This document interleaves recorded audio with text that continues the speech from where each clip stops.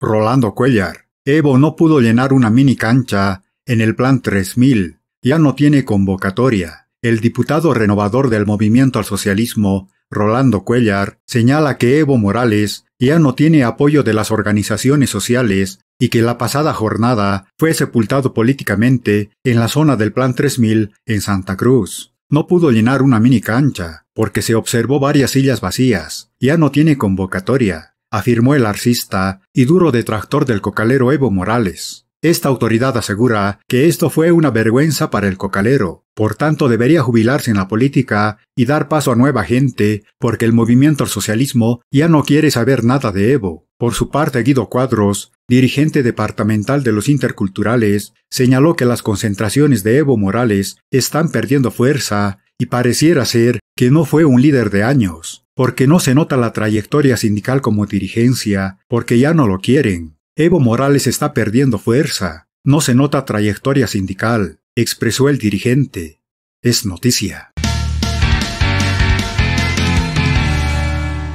Estamos en la General Solquinés, en puertas del Tribunal Departamental de Justicia. En este momento hay dos frentes, una del ala vista, otra del ala arcista. Y esto porque la Sala Constitucional Primera de La Paz está revisando un amparo presentado por el ala arcista que podría darle la facultad al ala artista del movimiento socialismo de poder convocar un nuevo congreso del MAS IPSP y es por esto que se han concentrado eh, vistas por un lado pidiendo que se respete el congreso de la UCAEñe y por otro lado arcistas pidiendo un nuevo congreso, bueno algunos amagues también de eh, pelea, de arrojarse algunos objetos. Es por esto que ha llegado incluso UTOP de la policía para separar estos dos frentes. El movimiento socialismo que se encuentra en esta expresión, como tú puedes ver en dos aceras divididos, unas banderas del MAS con la, con la cara de Evo Morales, con algunos carteles contra el presidente Luis Arce y por otro lado algunos carteles pidiendo un nuevo congreso y expresando su apoyo al presidente Luis Arce. Es lo que está sucediendo en este momento en este sector de puertas del Tribunal Departamental de Justicia de La Paz donde hay cánticos, música, gritos y algunos insultos a esta hora. César Galindo. Bien, Eddie, nos gustaría conocer las expresiones de algunos de los representantes, tanto del ala arcista como del ala evista. ¿Qué opinan algunos dirigentes que están movilizados y en esta, en esta vigilia, podríamos decir, en puertas del juzgado departamental? Sí.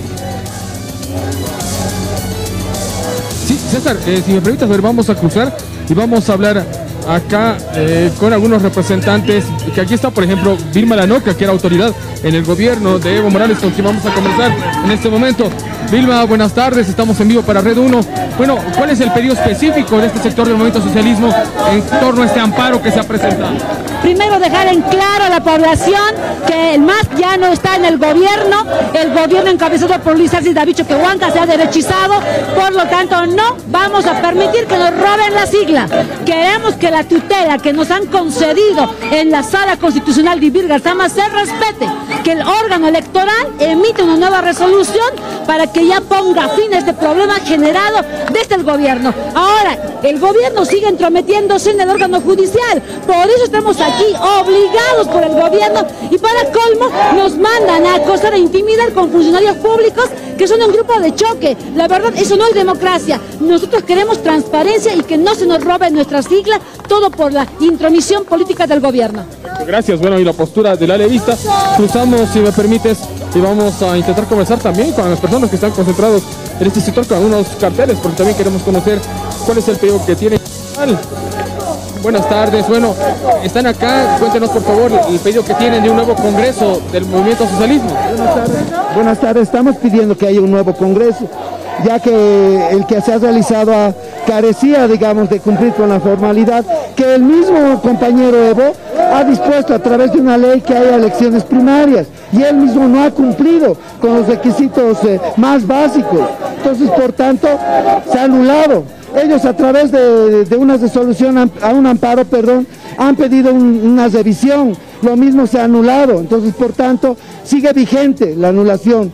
Y ahora estamos pidiendo que se anule y que haya una nueva, un nuevo Congreso más legal. Con un discurso caracterizado por las críticas, pero sobre todo por los anuncios de duros tiempos para los argentinos, ayer juró como presidente Javier Milei. Incluso se pudo advertir la molestia en algún momento de Cristina Fernández de Kirchner ante las críticas. Javier Milei anticipó que Argentina pasará por momentos duros para recuperar su economía, considera el analista Franklin Pareja ante el discurso del mandatario. El presidente Milei, sin anestesia y sin filtros, ha descrito el estado de situación económica de la Argentina, que no es mala, es un desastre, es un total descalabro. ¿Por qué hace esto? Porque está anticipando que las medidas que va a tomar van a ser extremadamente duras al ingresar al Congreso, la vicepresidente saliente Cristina Fernández hizo una seña obscena con su mano. Además, mostró una actitud de molestia. En realidad, yo creo que esas cuestiones son meramente estéticas, irrelevantes, de una soberbia, de un kirchnerismo que deja el poder, que se ve sin privilegios, que ahora van a tener que asumir una vida y una función desde llano y que obviamente están totalmente contrariados y no lo pueden disimular. La asistencia del presidente de Ucrania, Volodymyr Zelensky, muestra las intenciones de Argentina en sus relaciones internacionales, afirma el analista. Entonces, hoy por hoy, el señor Zelensky es víctima de una invasión, de una guerra que le está profiriendo Rusia a Ucrania ahí se nota claramente que la política exterior de la Argentina ha cambiado diametralmente 180 grados. Si bien claro, ayer se ha notado, ¿no? Qué cantidad estaban presentes y qué cantidad estaban ausentes. Bueno, ahí se sabe de que debería, eh, debería ya poner el pecho la mano y buscar la unidad esa conducta que hace, eso no es buscar unidad. Entonces, pero quien que se frega, él mismo solito, ¿no? Se está enterrando.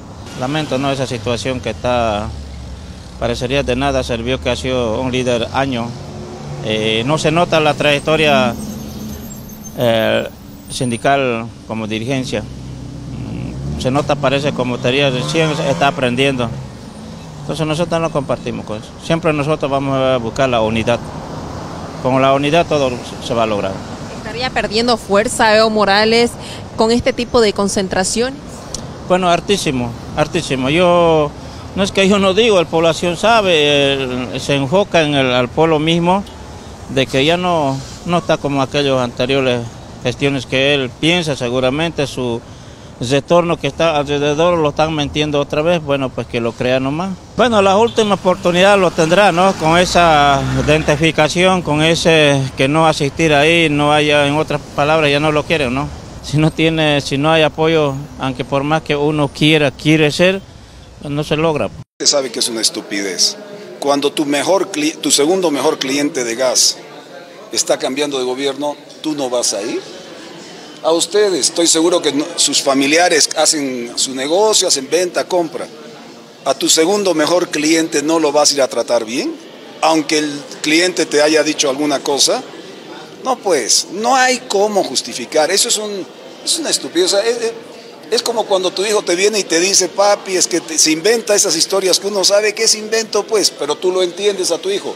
Lo que no puedes hacer entender a un señor ya maduro como el presidente que no vaya a la posición de un presidente porque resulta que tenía coincidentemente una reunión de gabinete. Te apuesto una cosa, si ayer se hubiera firmado un nuevo contrato de gas para Bolivia con la Argentina, él hubiera dicho no puedo ir porque tengo reunión de gabinete, hubiera salido disparado. O sea, no hay, no hay, no hay. Es que nos tratan como a tontos a los bolivianos y no es correcto, perdón que lo diga, no es que quiera ofender, pero da bronca, la gente está embroncada. Evo Morales ya no tiene convocatoria, Evo Morales eh, o sea, la gente no quiere dar cara, ¿no? O sea, eso es lo que hay que ver. Ya tiene, con tantas metidas de pata que tiene la gente, ya no va a sus concentraciones.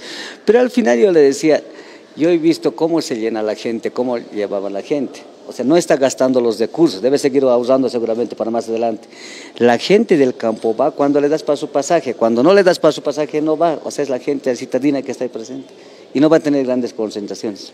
¿Ya no es el mismo líder de hace ya no, pues no, ya, yo creo que ya Evo ya terminó su ciclo y debería de terminar.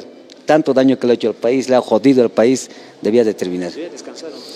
Claro, como ha dicho que se haga sus estadosito con sus chicas de 15 años, que esté feliz, eso lo ha dicho, no lo digo yo. Es millonario, pues es millonario, si lo que le pagan ahora 20 mil no es nada para él.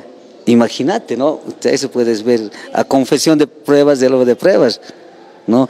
Y para hacer esas esposas, para criar tambaquí, cuesta harta plata, ¿no? Y no, no camina en, avión eh, comercial, por si acaso, sino dice que se lo alquilan a aviones, ¿no veo? O sea, charters. Además, seguridad, tiene su radio causacho, ni sabe administrar su equipo de fútbol, no me lo hace descender, una pena, ¿no? Bueno, primeramente ha sido una vergüenza la presencia de Evo Morales en, la autoproclamación del día de ayer, estaba totalmente vacío y ahora el bastión de Evo Morales, que era el Plan 3000, ahora es bastión de Luis Arce y David Choquehuanca. Va a haber la, presencia de nuestro presidente, van a haber más de 10.000 personas, a diferencia de ayer que habían 300 personas, y realmente ha sido una vergüenza para Evo Morales autoproclamarse con mínimas personas, eso de entender que Evo Morales no va a ser tomado más en cuenta en el movimiento al socialismo.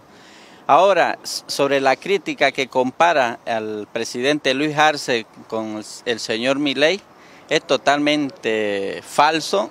Nuestro presidente Luis Arce es más patriota. Luis Arce es más patriota que Evo Morales. Evo Morales es antipatria. Evo Morales es un traidor.